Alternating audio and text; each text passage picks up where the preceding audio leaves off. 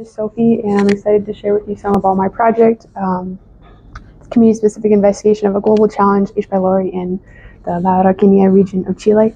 And my advisors for this project will be Dr. Alvaro Cerda and Dr. Monica Pavez at the Universidad de la Frontera. So, um, today I'm going to share a little bit about myself and the background that I'm bringing into the work. I'm going to share um, why are we're interested in studying H. pylori, uh, that little guy, laser pointer, right there.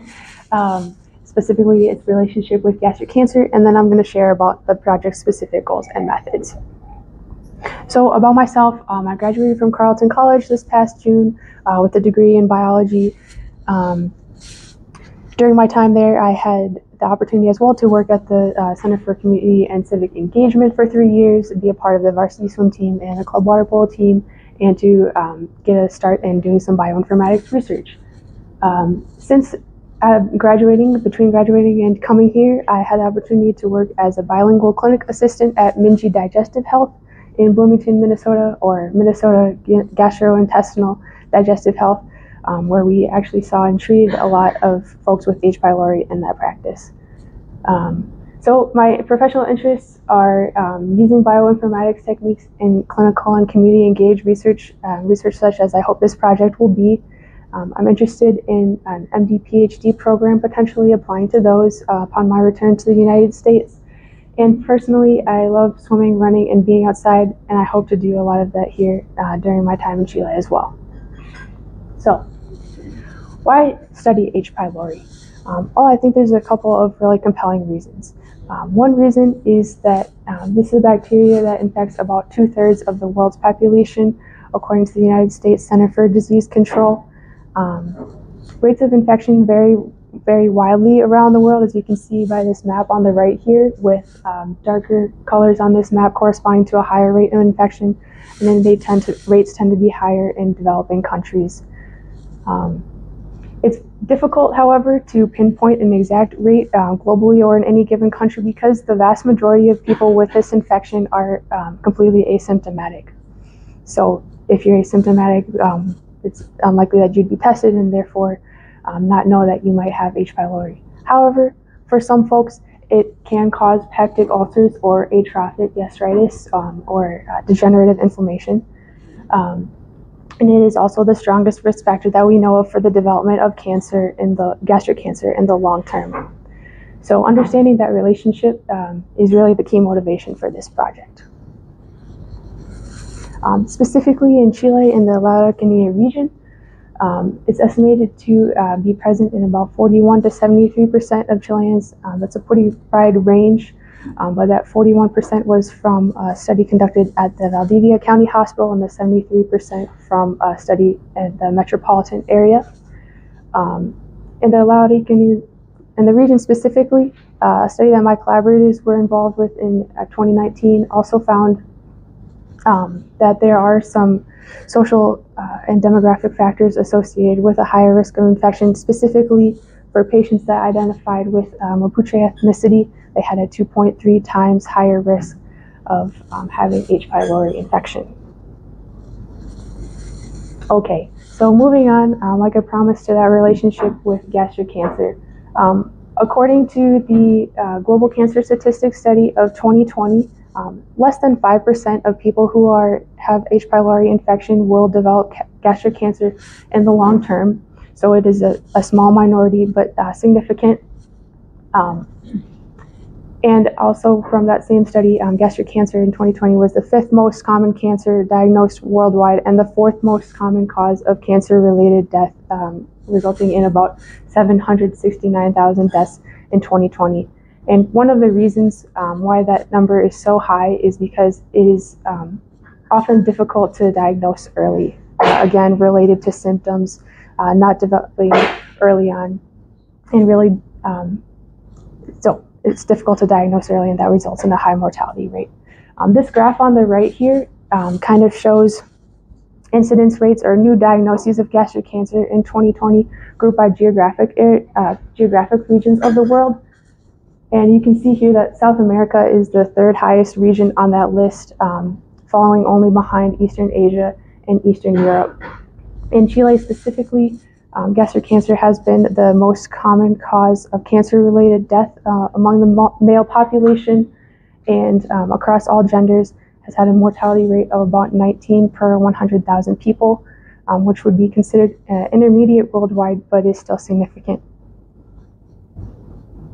So, big global problem, um, as I hope the last few slides have um, kind of set up. But how do we actually go about um, solving this problem and understanding it on the basic scientific level?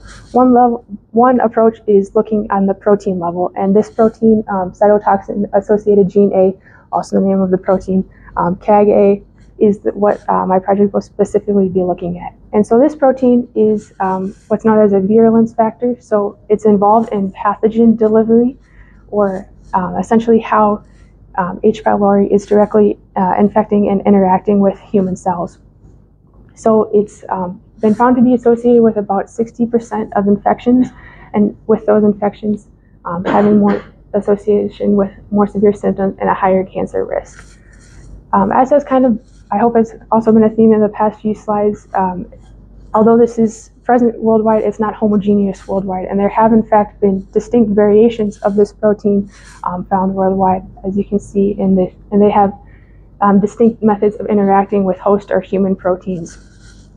Um, on the right here is a um, pictorial representation on the top of East Asian uh, CAG-A, which is one variant found versus um, Western CAG-A. We have um, three different variants, and there are other variants which have been um, initially discovered as well, but have not been uh, canonized into the literature uh, quite yet.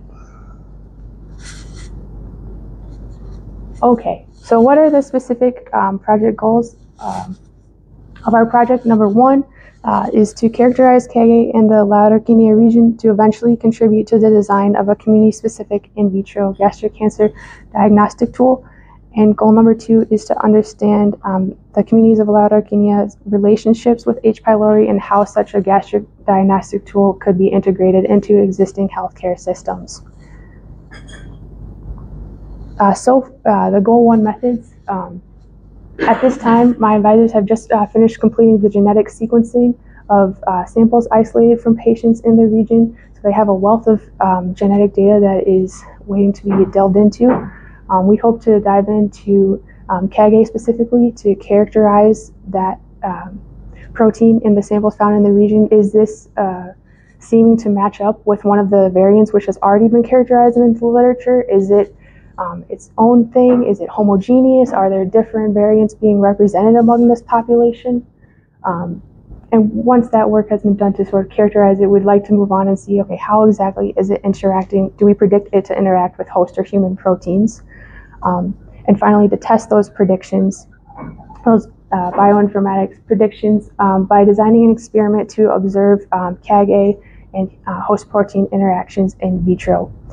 And so um, the eventual goal of that experiment and this work is to be able to see um, if we can pinpoint um, which variants of CAG-A or do we expect to lead to a higher gastric cancer risk and can we use that to create an in vitro tool to diagnose gastric cancer earlier and um, lead to better treatment outcomes for patients. Um, this is not uh, something that we expect to be able to accomplish uh, entirely in nine or 10 months. So an important part of this goal will also be communicating um, results to future researchers and um, as I mentioned earlier, with the uh, different variants of CAG-A that have been found worldwide, by communicating to current researchers globally as well, what can we learn comparatively um, through that approach?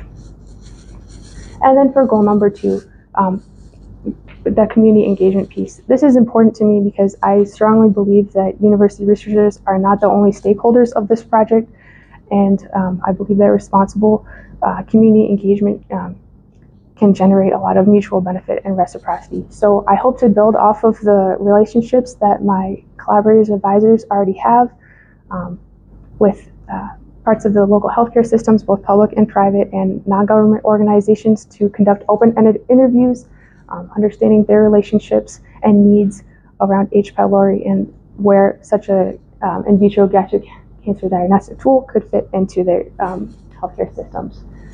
Um, organizing that really information and assessing for common themes. And then uh, moving forward, as I said, to end, uh, to generate mutual benefit and reciprocity, I believe an essential part of that is sharing back. Um, so give and take relationship, uh, whether that be sharing about the research um, that we are currently conducting, any tentative results that we may have, um, or building um, across networks to share back. So here are some references that I um, cited in the creation of this presentation. And I'd like to um, thank everyone for listening, thank the Fulbright Commission for um, granting me this grant, and uh, take any questions.